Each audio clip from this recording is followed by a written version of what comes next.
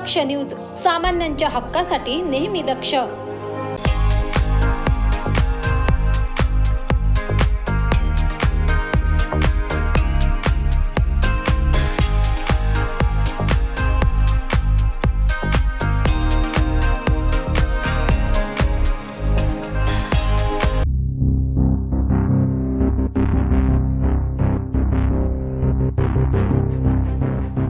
दिनांक अकरा दहा दोन हजार तेवीस रोजी उपनगर पोलीस ठाणे हद्दीतील फिर्यादी नामक गौतम चिंतामण भागवत यांच्या फिर्यादीवरून आरोपी नामे रोशन काळे मोंटी काळे प्रदीप सोनवणे यांनी धारदार शस्त्र घेऊन फिर्यादी यांच्या घरी जाऊन शेलारमळा आम्रपाली झोपडपट्टी उपनगर परिसर येथे जाऊन फिर्यादी यांचा भाऊ तथागत काहीही एक न सांगता डोक्यावर व हातावर धारदार शस्त्राने वार करण्यास सुरुवात केली.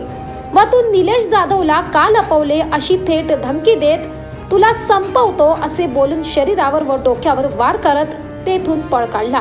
व त्यानंतर फिर्यादीने उपनगर पोलीस ठाण्यात फिर्याद देऊन गुन्हा रजिस्टर नंबर चारशे सतरा दोन हजार तेवीस तीनशे सात चारशे बावन्न ऑब्लिक चौतीस शस्त्र अधिनियम एकोणीसशे एकोणसाठ प्रमाणे कलम एकशे पस्तीस प्रमाणे दिनांक अकरा अकरा दोन हजार चोवीस रोजी गुन्हा दाखल करण्यात आला होता.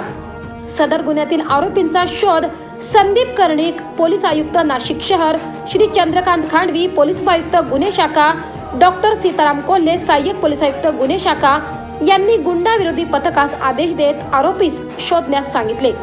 त्याच अनुषंगाने गुंडा विरोधी पथक यांनी वीस तीन दोन हजार चोवीस रोजी गुन्ह्यातील फरार आरोपी यास आपल्याकडे कोणताही सुगावा नसताना मानवी कौशल्य वापरून माहिती काढली.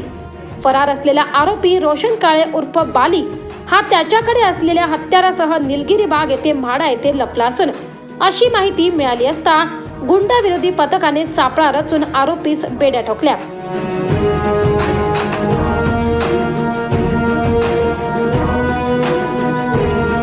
या कामगिरीत पोलीस आयुक्त नाशिक शहर संदीप कर्णिक श्री चंद्रकांत खांडवी पोलीस उपायुक्त गुन्हे शाखा व इतर पोलीस सहकाऱ्यांच्या मदतीने संयुक्तरित्या कामगिरी पार पाडली आहे या कामगिरीमुळे नाशिक शहर परिसरातील नागरिकांकडून पोलिसांवर कौतुकाचा वर्षाव होत आहे.